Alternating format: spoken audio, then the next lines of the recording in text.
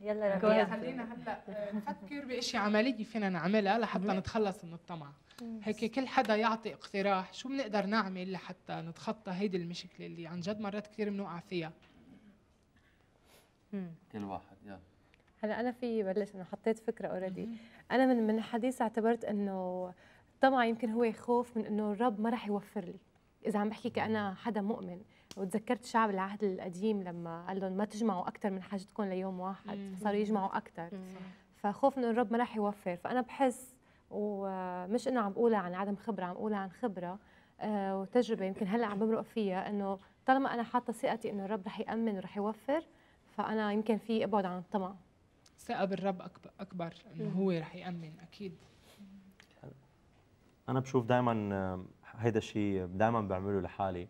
دائما بضل برجع بقيم كل شيء عم بعمله كل أهدافي بهيدي الحياة. أنا لشو عم بعمل؟ أنا لشو عم بخدم هون؟ أنا لشو عم ساوي هيدا الشيء وبمحلات بكتشف إنه في اشياء عم بعملها لأني أنا بس بحبها ومش للرب. فبرجع بصلي بقول يا رب إنه ما بدي يكون هيك. فدائما أنا بحس دائما لازم يكون في تقييم بالحياة بالإشياء اللي عم تعملها. إن كان بإشياء صغيرة مثل حب الثياب ولا إنه تشتري إشياء ولا يكون عندك أهداف معينة بالحياة أو حتى بالخدمة بالإشياء الكبيرة دائما بجرب قيم كل حياتي كيف عم تصير حتى بحياتي ببيتي مع مرتي. آه، بكل ظروفنا دائما بحب قيم وشوف وين أنا عم بعمل هيدا الشيء لمجد الرب وين أنا عم بعطي لمجد الرب وحاطط الرب هو الهدف وين المحلات عم بقشط لحتى أصير أشتغل عليها. آه أنا رح روح من ميلة الأصحاب أنا وصغير والعقد اللي بتكون عندنا أنا بسميها قيود سناسيل مربطة.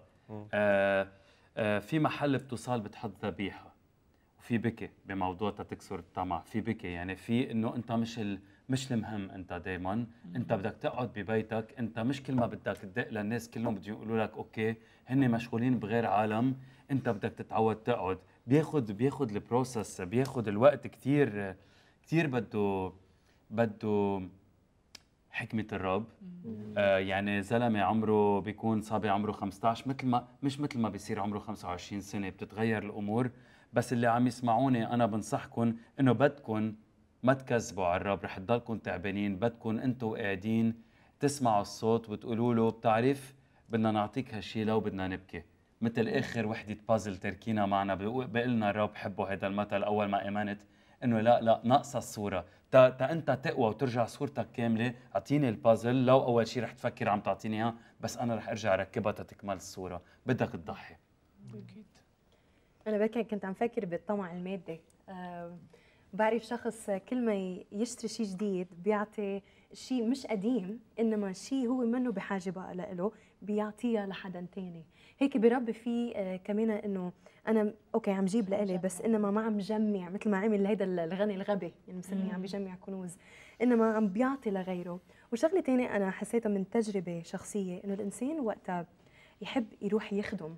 هونيك بشوف الحاجة الكبيرة. يعني إذا أنا بقول أنا مثلا أنا فعلا أنا شغلي بجمعية قلبنا مع لبنان بالخدمة كثير آه، خلتني متواضعة وخلتني أشكر الرب على الأشياء اللي عندي إياها.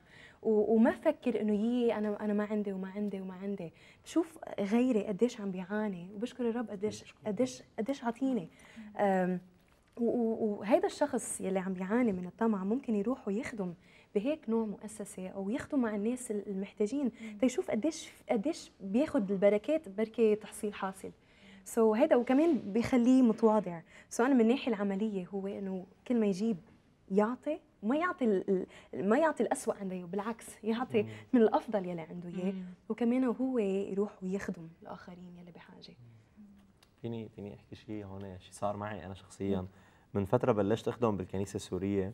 وعم بخدم مع مع يعني أولاد بلدي بالنهاية وكذا وهيك فكنت بلشت أخدم وحابب أخدم معهم. فبلشنا نروح أنا وريبيكا وجوليا.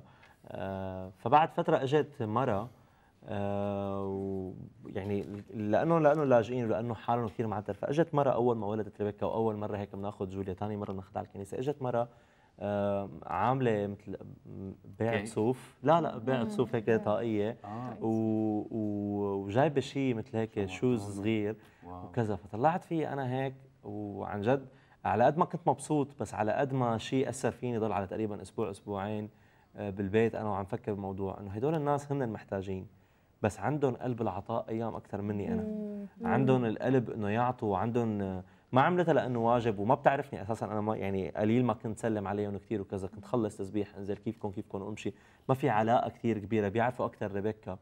بس مع هيك عندهم قلب العطاء. وهذا الشيء كثير كثير أثر فيني وكثير خلاني أحس إنه وين أنت بالعطاء؟ وين شو عم تعمل أنت لحتى تعطي؟ شو وين أنت عم تعطي بحياتك؟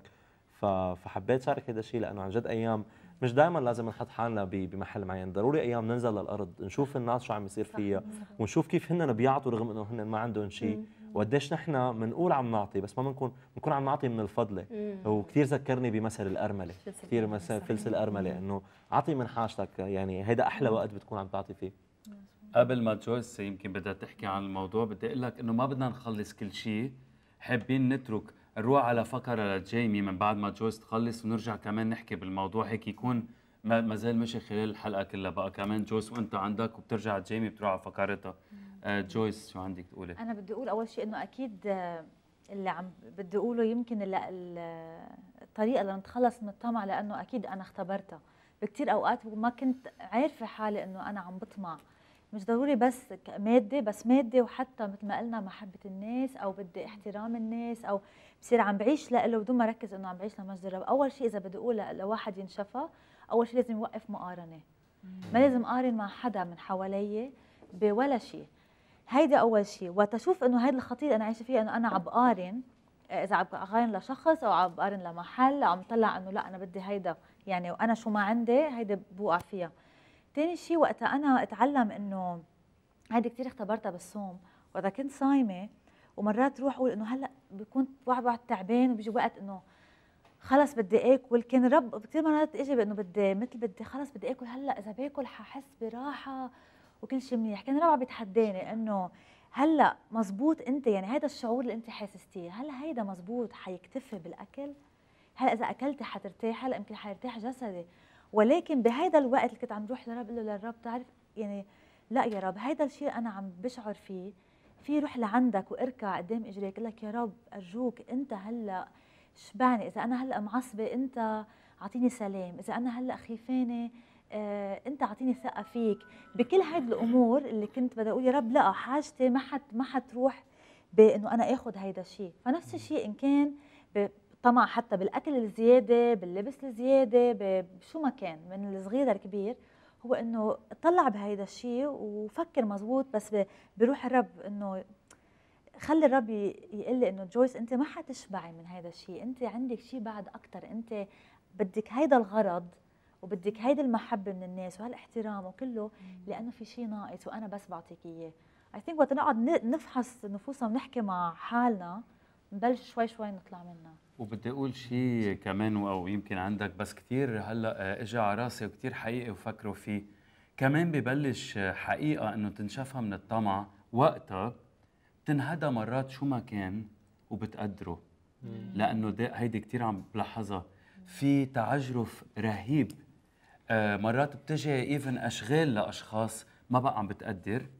صح. آه بيجي شو ما كان لأشخاص مثل إنه أوكي و أنا كنت عم صلي وما وهيدي ما عم بعطي إنه أنا عملتها بس أنا الرب عم بذكرني فيهم آه بوقت اللي السياره كانت محروقة تبعي كنت عم صلي بالسيارة أنا ومريان وشو حلو بس الرب يسكب فينا شيء غريب ما ننساه. بحب هول الأمور الرب اللي خلص بيزرعهم أو بضل يذكرنا فيهم لو نسينا وكنت عم بقول له يا رب ما رح أنسى يا بيي لإلهي.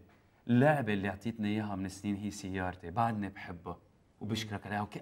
اي مين يعني كنت عم بعني مش كنت عم بقولها إنه لازم أعنيها بالإيمان. حتى مريم من بعدها تعجبت إنه هيك وقلت لها غريب شو بذكرني بكل اللعب الهدينية أو اللعب هي مش دائما material مش عم نحكي إنه سيارة وكباية. اللعب مرات وين صرت أنا؟ عم بعلى باسمه عم بيعليني يرقيني بحكمته. هيك عم بقصد من مجد إلى مجد بخدماتنا. مش يعني نعلى نصير واقفين على stage لا. إيه بقى بقى هيدي كثير بحب ذكر العالم فيها. وما عليه خليني أقول أولاد الرب اللي بيقولوا عن حالهم مؤمنين أف بس حدا يعطيكم شيء حدا دبلكم شغل مرات. بتذكر مريان صار معها شيء دبرت لشخص من كنيسه شغل. ولا مرة قال thanks لا sorry ورح أقول أنت متعجرف. مش لأن مريان دبرت لك أنا بدي تقول لها thanks بس أنت لازم دغري أنت عم تلهج للرب عم تقول thank you وانت بعفويه الروح القدس اللي فيك بتقول اف thank you إنك فكرتي فيي. مزبوط ربيع هيدي قليلة مرات الوجود صايره بجسد المسيح. في إنه okay خلص ميرسي وخلصت القصة. إيه يعني، بستحق cadeau. بيجي بستحق كل شيء بستحق. لما يكون في عنا هيدا الشعور من الانتايتلمنت أو بنحس إنه إحنا بنستحق اللي عم نحصل عليه. بننسى إنه كل بركة عايشين فيها هي من الرب. 100% أه بدي بس أقرأ ثلاث آيات بيقولوا بولس بفيليبي 4 من 11 ل 13 أه مرات كثير ما بنفهم هالآيات أو في آية ما بنفهمها صح. ليس أني أقول من جهة احتياج فإني قد تعلمت أن أن أكون مكتفيا بما أنا فيه. أعرف أن أتضع وأعرف أيضا أن أستفضل. في كل شيء وفي جميع الأشياء قد تدربت أن أشبع وأن أجوع وأن أستفضل وأن أنق- وأن أنقص. أستطيع كل شيء في المسيح الذي يقويني. شو حلوة هالايه آه عن جد بس بالآخر بدي أقول إنه شو ما كان الضعف اللي عندك وشو ما كان النقص اللي عندك شو ما كانت الحاجة اللي أنت عايش فيها تستطيع كل شيء في المسيح الذي يقويك. كل شيء بنقدر آه، آه، آه، نحققه كل شيء بنقدر نشبع فيه. هو بفضل الرب وهو بيجي من عند الرب. خلينا بس نتذكر هيدي الآية ونقولها كلنا سوا مع بعضنا بقلب واحد. أستطيع كل شيء في المسيح الذي يقويني.